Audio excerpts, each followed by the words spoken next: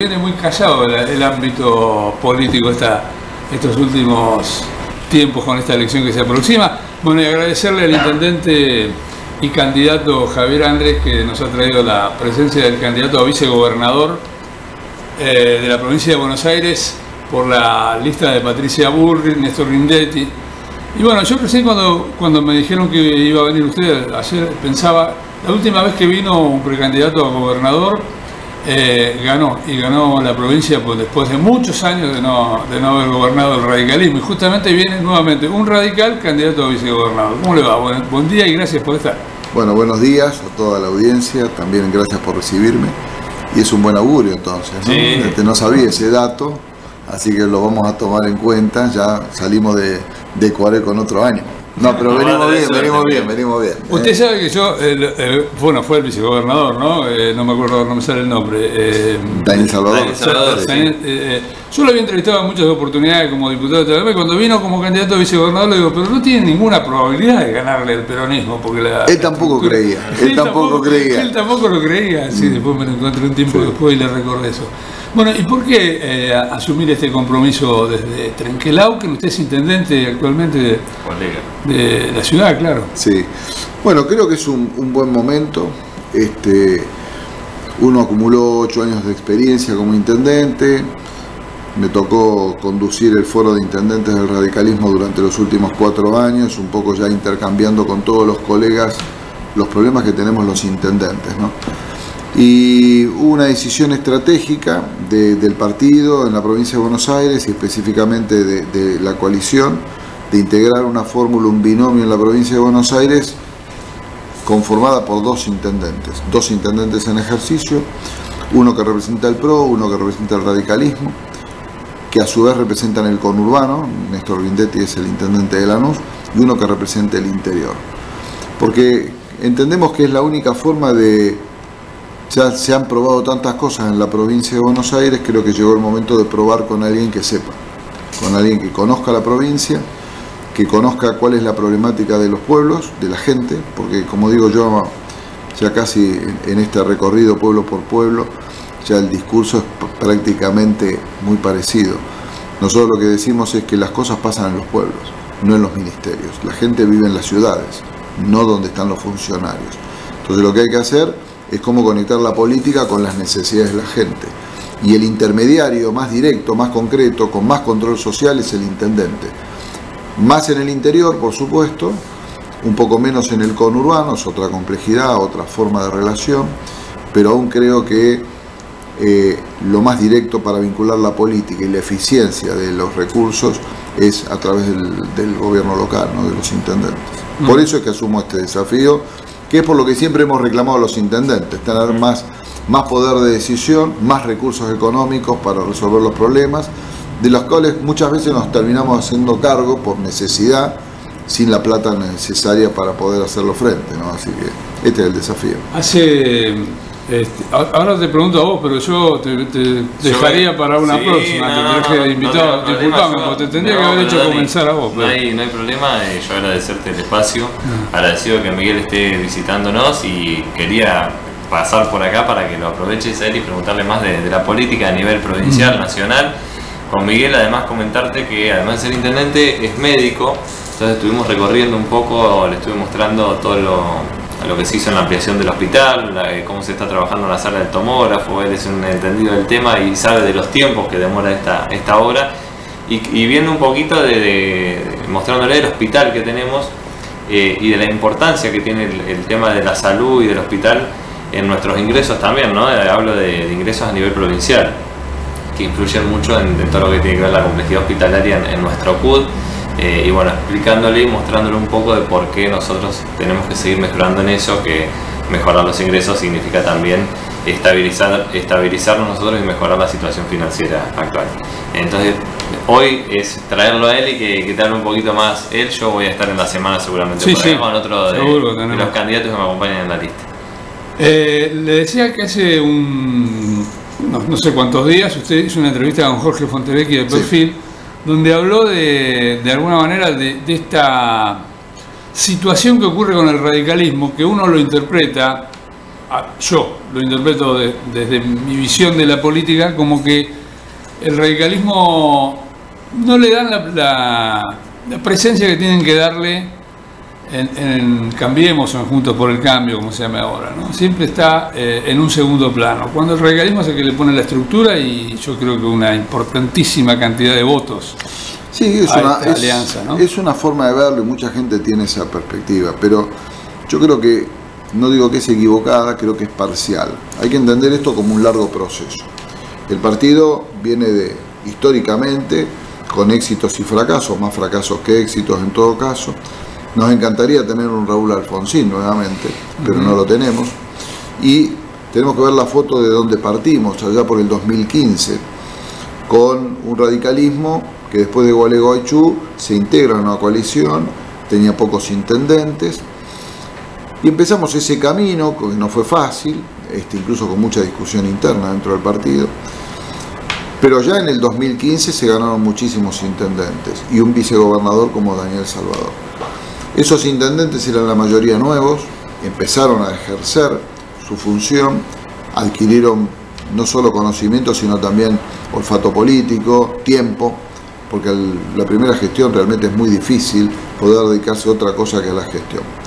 Y entonces, en ese proceso hoy nos encuentra con 32 intendentes, de 5, 32, con un nivel de, éxito en general en todos los casos, eh, han renovado o van a renovar mandato, quiere decir que las,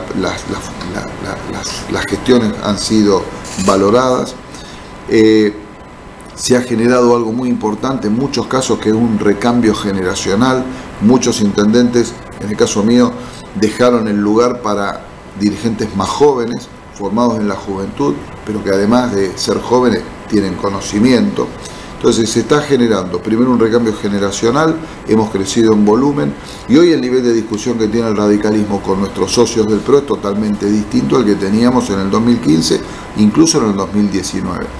Nosotros fortalecimos muchísimo el foro de intendentes del radicalismo, que antes estaba cometizado con el foro de intendentes de Cambiemos, y hoy tenemos actividad propia, hemos tenido nuestra relación distinta en algunos sentidos con el gobierno provincial, con Kisilov, el Foro de Intendentes Radicales se ha relacionado de una manera distinta a la del PRO y hoy nuevamente confluimos en esta, en esta competencia electoral, pero ya no como una coalición electoral, sino como una coalición de gobierno.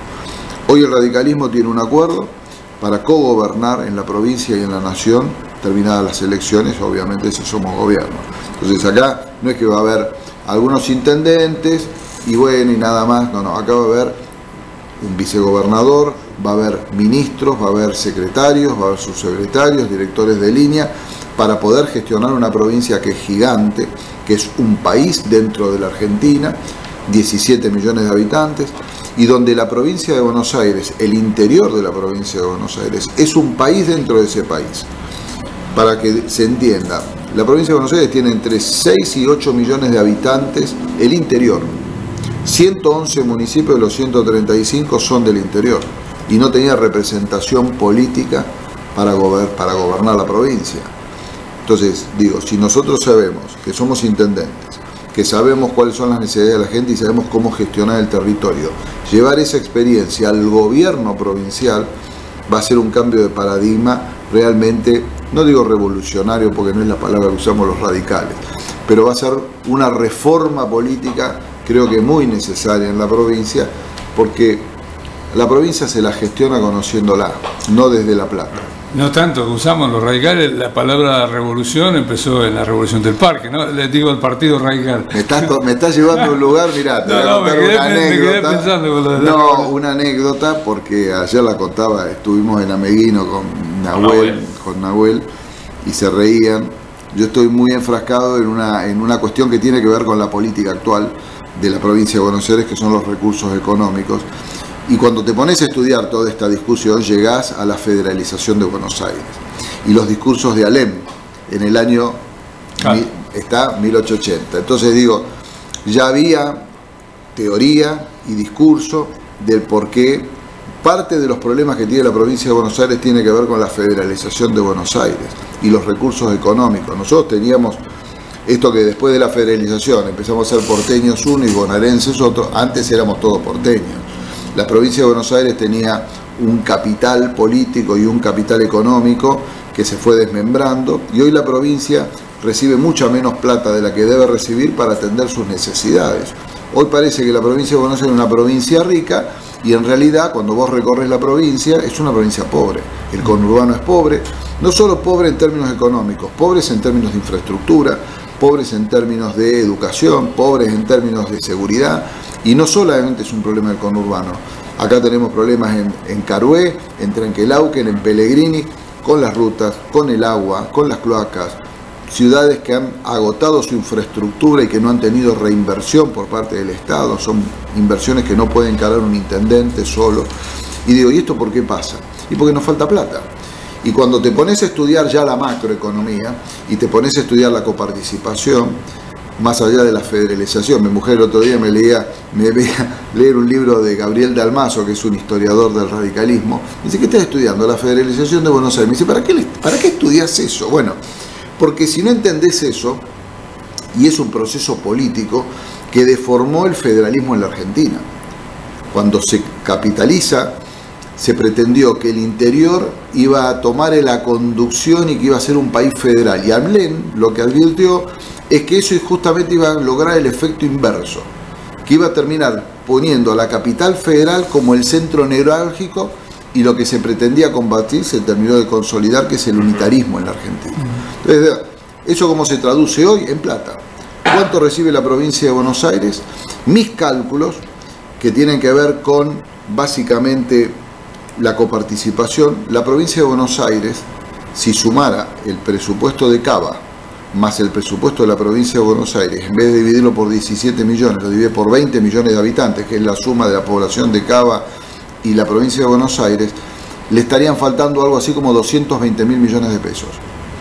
Eso se, primero fue el fondo de conurbano, después fue una actualización de ese fondo de conurbano, ahora son transferencias corrientes que no se coparticipan con los intendentes, pero le falta plata a la provincia de Buenos Aires, para que las cloacas lleguen a Carué, para que lleguen a Trenquelauque, para hacer un acueducto nuevo, para poder resolver el tema de las inundaciones. ¿Y qué puede hacer un intendente en la vicegobernación con respecto a eso? Maravillas. Mm, a ver cómo.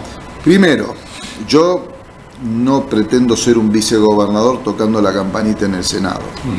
Eh, si algo, algo eh, para no extrañar el municipio, lo único que podés hacer en la provincia es, siendo vicegobernador, colaborando estrechamente con el gobernador, co-gobernando, para que la provincia cambie. Los intendentes lo que hacemos es acción pura es todo el día gestionar problemas, desde que nos levantamos hasta que nos acostamos. Rara vez te aplauden, en algún, acto nos aplauden, pero la mañana es ¿qué, ¿qué, pasó hoy? Hay que resolver esto, esto, esto, esto. ¿Qué plata tenemos? Tenemos poca plata, no podemos. Hay que ir a viajar a La Plata. Eso es un tema que hay que darlo vuelta. En realidad, La Plata tiene que venir a Carué y no Carué ir a La Plata. Entonces hay que, lo digo en términos futboleros, nosotros tenemos que jugar vertical en política la pelota tiene que llegar rápido al 9 para hacer goles, no mucho pase lateral, caño, jueguito para la tribuna y que la pelota llegue al área una vez cada 10 minutos. Acá tenemos que jugar vertical. ¿Cómo hacemos para llegar? Eliminando burocracia, intermediarios, funcionarios que lo único que hacen es complejizar el proceso para tomar decisiones. Entonces, hay que centralizar la planificación y descentralizar la ejecución en los municipios. Entonces, ¿Qué pretendo yo como vicegobernador? Por supuesto mi tarea específica, donde va a haber mucho trabajo político de articulación con los bloques de, la futura oposición que hoy es oficialismo. Pero además meternos en, en todo lo que es lo, lo operativo de todos los ministerios, cómo resolver las viviendas, cómo resolver, hablábamos con Javier muchísimo recién en el hospital, de cómo regionalizar la salud en algún momento hay que empezar a resolver los problemas estructurales de la provincia más allá de los próximos cuatro años, que es el drama que tiene de la provincia. Entonces, yo tengo muy claro el tema de la regionalización de la salud, porque es un tema que nosotros lo padecemos a diario. Cuando vos tenés que derivar un paciente de alta complejidad, un bebé recién nacido bajo peso, prematuro y demás, conseguir una cama en los centros de alta complejidad es prácticamente una quimera. Y, hoy, más todavía. ¿no? Más. Bueno, yo voy a, poner un ejemplo. Voy a poner un ejemplo. Hace pocos días entre que tuvimos que llevar a un paciente joven con un aneurisma disecante de aorta y donde los dos hospitales que pueden operar eso en la provincia, a uno le faltaba un aparato y al otro le faltaba el cirujano. Tuve que hablar con el ministro que me resolvió el problema, y eso lo agradezco por supuesto, eh, pero, pero fue una gestión individual, no fue un proceso sistematizado de organización de un sistema de salud. Entonces vos tenés contacto con el ministro, el ministro se ocupa, levanta el teléfono al ministro, todo el mundo dice, sí, sí le pertenezco. Bueno, pero es que eso no es, no es un proceso natural. Y eso falla porque fallan los procesos. No está organizada la salud para que podamos tener en el lugar, cada uno de los lugares de la provincia, las complejidades que necesitan. Esto nosotros no debemos depender de la plata. Los centros regionales de atención de las altas complejidades tienen que estar a no más de 150 kilómetros por ruta, entonces no deberíamos derivar toda la plata. Hay que poner, es un recambio de todo un sistema que va a requerir la participación del vicegobernador en justamente lo que yo creo que es central en la política. Cuando hablamos de políticas de Estado, requiere la intervención de todos los partidos políticos. Entonces digo, si vamos a recambiar la salud, yo tengo que sentar al ministro de Salud del PJ, al ministro de Salud del radicalismo, al ministro de Salud del PRO, a los que saben de salud, en una mesa fuera de la elección, para decir, muchachos, cómo organizamos la salud para los próximos 30 años. Las prioridades y la organización. y eso lo puede hacer alguien que pueda tener capacidad de diálogo, porque eso está por encima de la discusión política.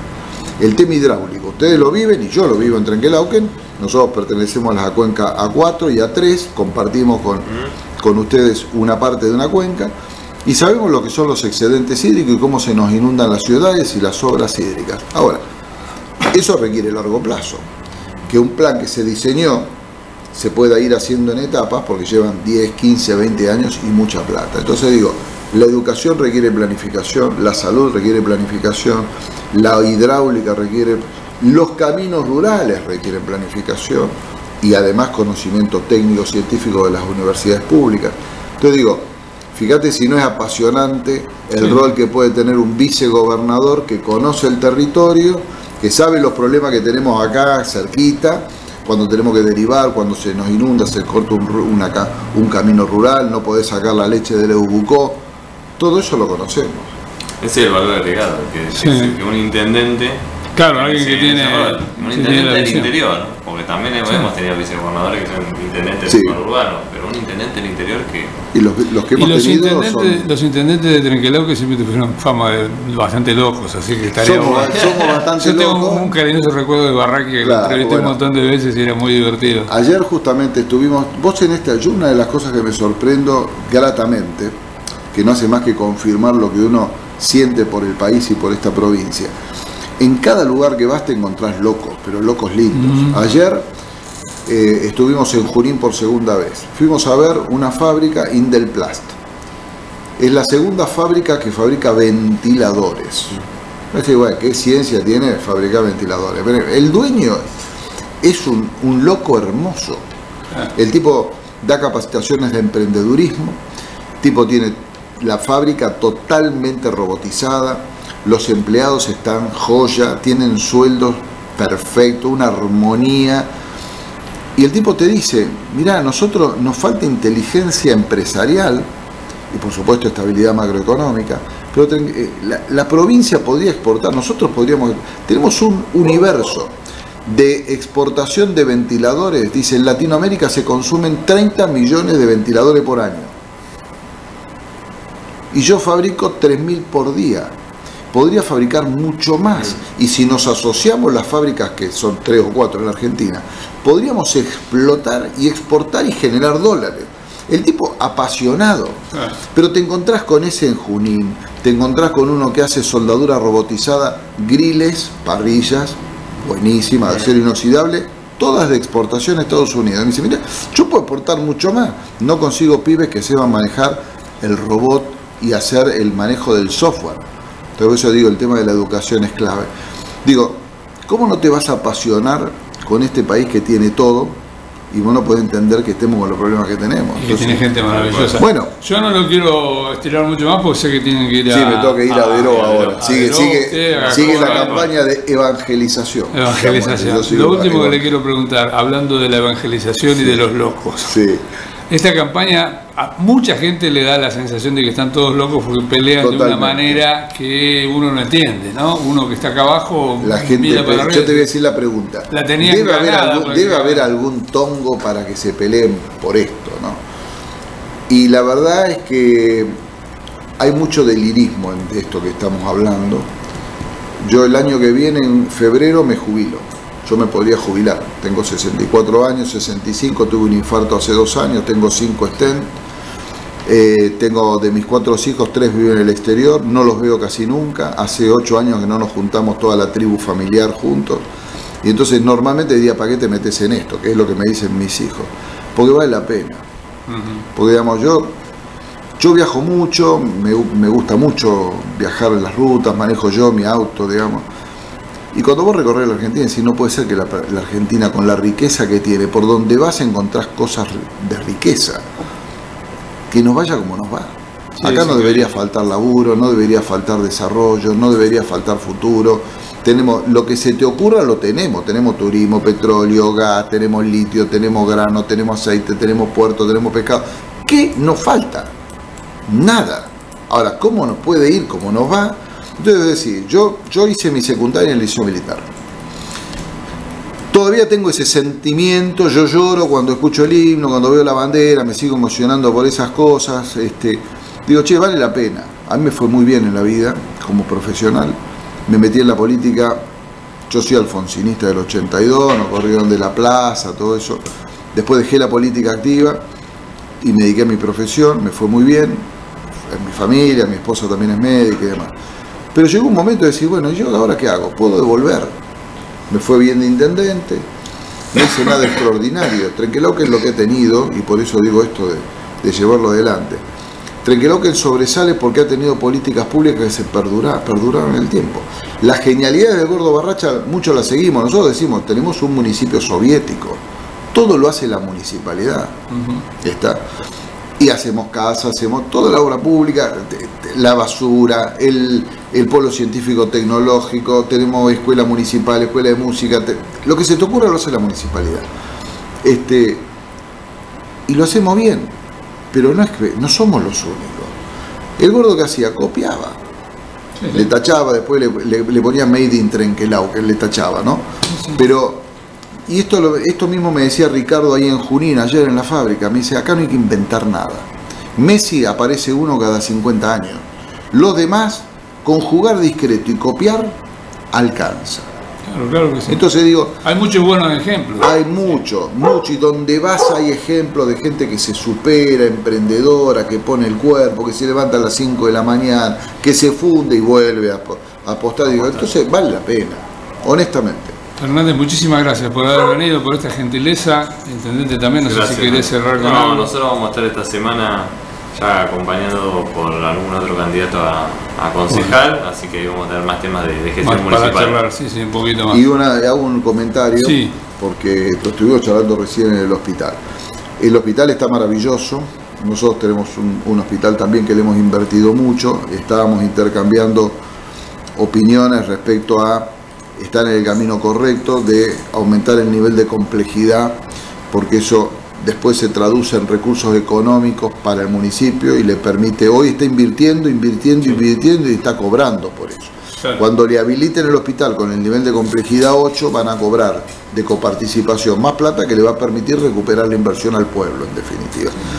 Y hay tiempos, lo hablábamos recién con el tomógrafo, ellos están instalando el tomógrafo y nosotros también. ¿A ustedes también? Sí, nosotros también. Y lo que iba a ser una obra, y lo que iba a ser una obra, una obrita, Sí, ponemos el tomógrafo y ya está. Hace un año que estoy.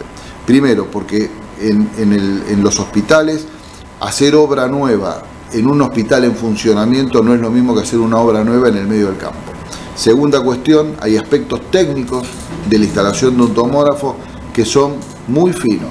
Plomo, instalación eléctrica, transformadores, que después viene la cooperativa Vi eléctrica. un tutorial en YouTube que lo recomendé a todo el que lo quiera ver de cómo se arma un tomógrafo eh, desde cero, ¿no? Como lo van a armar acá. Bueno, Y realmente es... a nosotros lo que parecía que yo me vuelvo loco como intendente, digo, pero ¿cómo dos meses más? Y los arquitectos me dicen, mira, no, no hay forma de hacerlo porque tenemos, porque ya que estamos, llevamos el ecógrafo y ya que estamos, movemos Claro. el mamógrafo y ya que estamos, tenemos que hacer la sala de espera porque no podemos. Y cuando querés terminar, se te van los tiempos. Así que estábamos compartiendo las lágrimas junto con este, este, con él porque la verdad lleva tiempo, después lo disfrutamos. Esto es un poco el proceso natural en los, en los municipios. Nos, nos critican, protestan porque las cosas llevan tiempo y demás. Cuando se inauguran y empiezan a funcionar todo eso se olvida y se mira el orgullo que tenemos, que tenemos el tomógrafo, mira qué lindo que está el hospital y qué sé yo, y la verdad que es un lujo el hospital. Muchas gracias, Gracias, a los dos. Gracias, Gracias por haber venido. Suerte en la campaña. Gracias. Espero que se cumpla la profecía. Vengo cuando ganemos, la- el primer paso es el 13, vengo después del 13. Después del 13. Cho- está chorizo para- seco.